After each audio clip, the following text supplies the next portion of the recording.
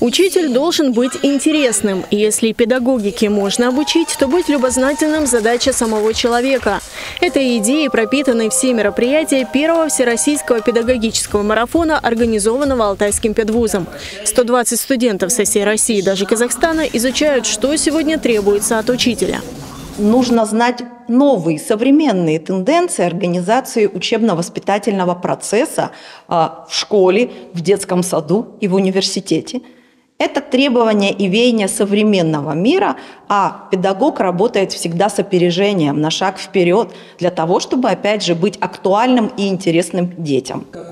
В марафоне несколько десятков этапов – интеллектуальные, творческие, игровые. От участников требуется знание не только методики преподавания, но и современной кинематографии, эстрады, литературы, чтобы не отставать от детей. Все это отражается на подходах к обучению.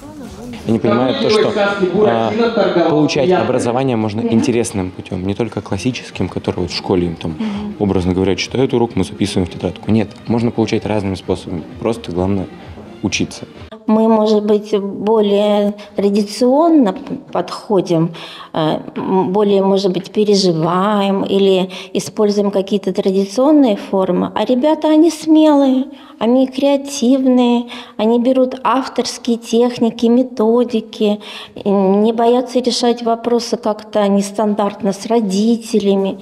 Внимание будущих педагогов направляют не просто на ребенка, а на его семью. При работе с детьми это затрагивает уже более широкие вопросы. Современные ученики берутся за проблемы, выходящие за рамки своего класса или даже школы.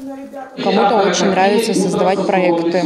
Вот сейчас в школах очень популярный проект во всех школах, и некоторым преподавателям это очень нравится, заниматься с детьми, делать проекты, потому что некоторые проекты, они очень ну, значимы. Про экологию, про сейчас не вспомню еще какие. Даже вот у меня в школе были экономические проекты. Да, вот настолько дети хотят серьезные темы брать. Марафон продлится три дня. Организаторы уверены, что лучшим его результатом будут дружба между студентами из разных городов и мотивация работать по профессии после выпуска. Анастасия Драган, Дмитрий Денисов. День с толком.